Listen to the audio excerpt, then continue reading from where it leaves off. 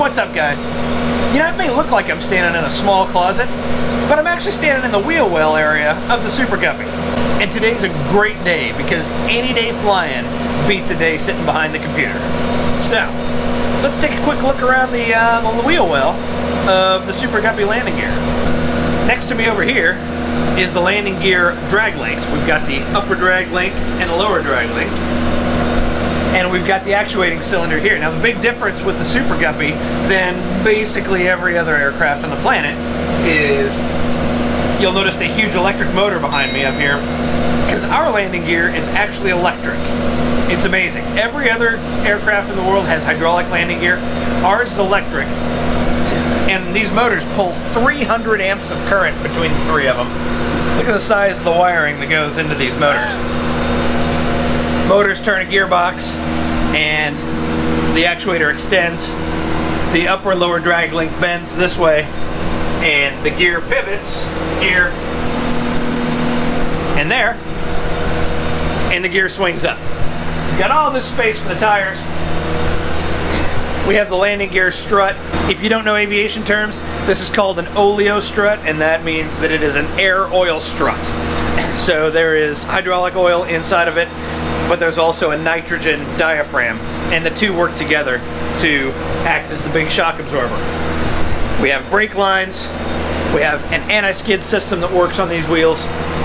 It's a pretty awesome system considering how old it is. You can see our up lock there when the gear comes up.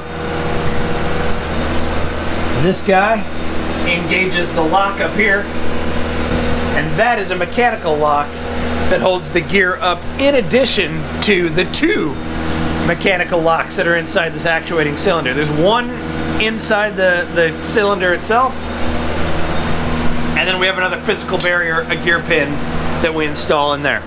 As I mentioned, it's a great day because we get to go flying. We're just going to do some local bounce pattern work. Uh, a couple of us are not current in the airplane. It's been greater than 60 days since we've flown. So we just have to get in the airplane and go fly around a little bit. Not the worst day a guy could have at work, right? So come on, I got cameras set up. Let's go for a ride. As a 426, clear for takeoff runway 11.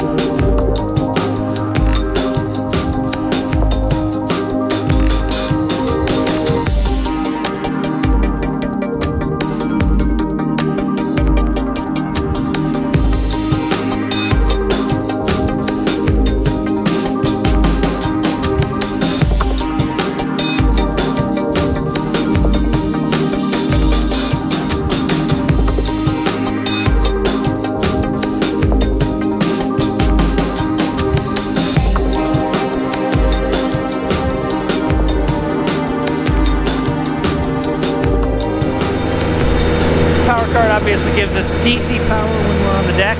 This aircraft mostly runs off of DC power. So for ground power, pre-flight, and engine starts, we use a DC external power cart. And jet engines start by an air starter, not an electric starter, like most cars or motorcycles or anything else. Most aircraft also have an APU, which is an auxiliary power unit. The point of an auxiliary power unit is it provides electrical power from a generator, but it also provides the air needed to drive the air starters on the engines. Well, this aircraft does not have an APU, so we use we use an external, what we call a huffer, or an external jet engine, to provide bleed air from it to the engines for start. We will connect that hose to that manifold, and that carries the bleed air out to each of the four engines for engine starts. Pretty cool how that works, right? So down here we've got the lower unpressurized area of the guppy. We are up forward. There's our main entrance door. We have our hydraulic panel that we use for all the hydraulic locks on the nose. We have our two stabilizing struts that came out of a dump truck, by the way. And we have all our flight control cables here. And we physically unsnap all of these flight control cables when we open the nose.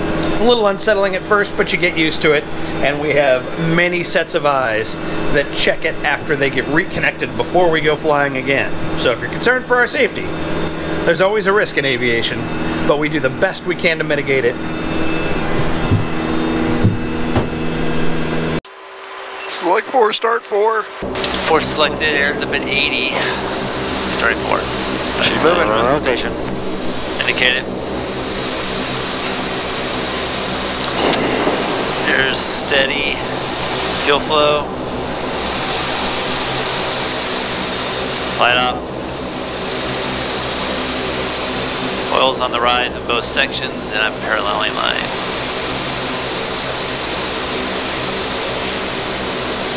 Passing 50% now. There's a button. 774. Come on, Airs man. up. Orbia.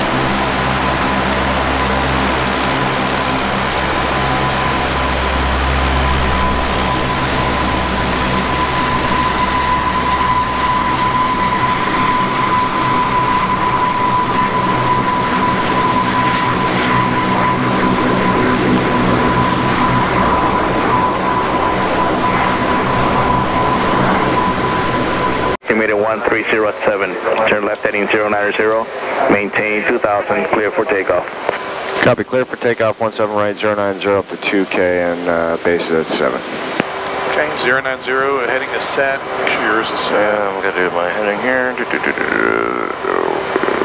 And then we can hit the lights. Alright, landing lights are on, bleed air shut valves closed, Yep. pitot heat's on, anti-skid.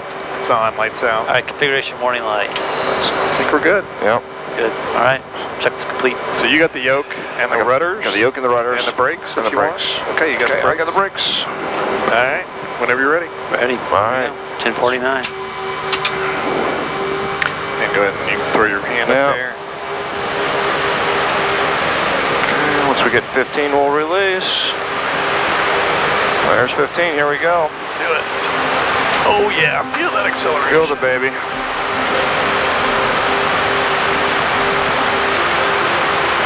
Okay, there's 40 knots. You should have good rudder. All right.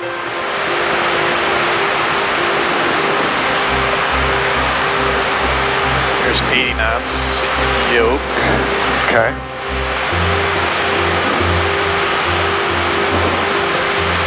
There's V1 and rotate. Okay. Positive ring. Okay, you got gear? Here's coming.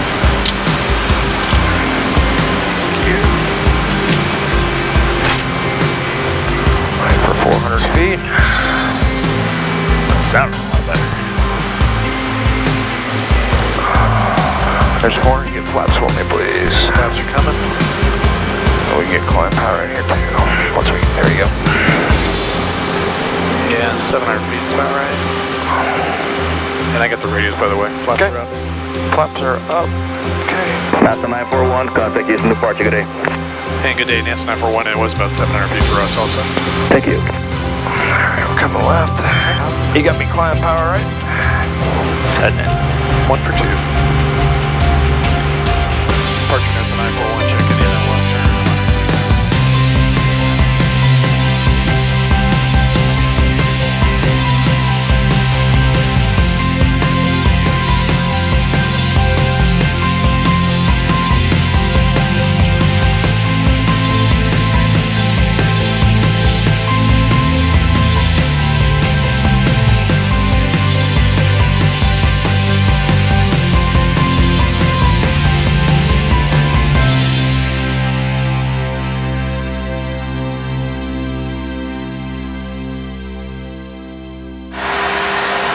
300 feet.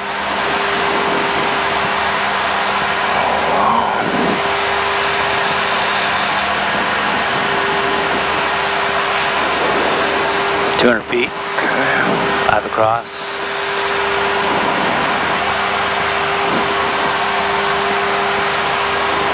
One hundred feet. Alright, start walking her back. Walking them.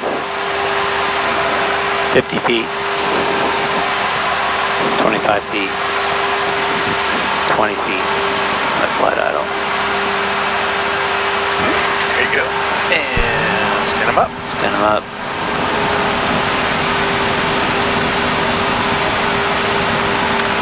Push them up. Push them up. Take off power. Flaps are set. And rotate. Positive brake. Gear.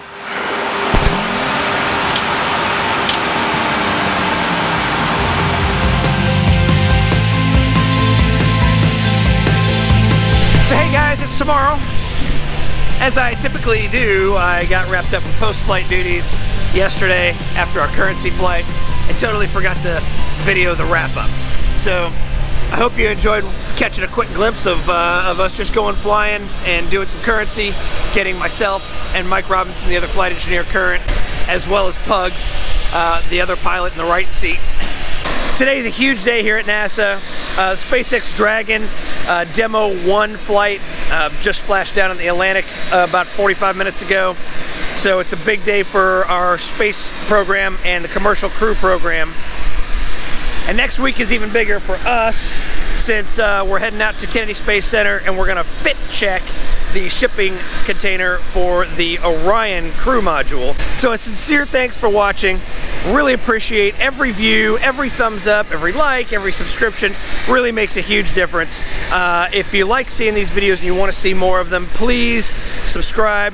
Play Ding Dong Ditch with the bell next to it so you get a notification every time I post a new video. And man, next week is going to be huge. We'll see you then. Have a great weekend.